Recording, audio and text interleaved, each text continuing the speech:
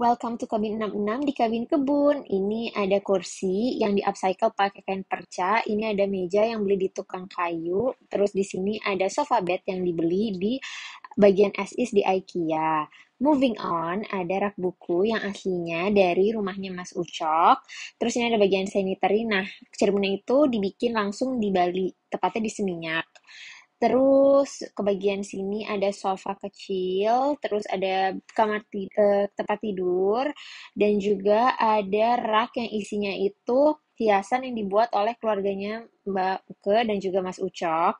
Ini ada moss yang jadi hiasan juga. Next, di sini ada meja yang di atasnya ada hiasan yang dari Filipina. Uh, and then ada rak uh, drawer ini yang dibeli di temennya Mbak Uke di Bintaro.